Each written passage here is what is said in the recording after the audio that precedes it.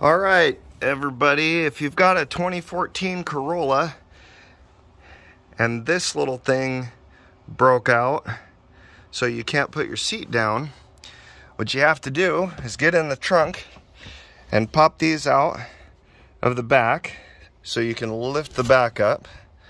And then you got to pop them out of the side that holds the side together. And then got to pry your cushion open so you can see in there.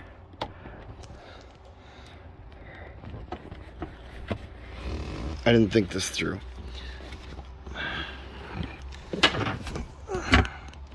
Let's see if I can get it back open. Okay, let's get the camera on the right side of the material.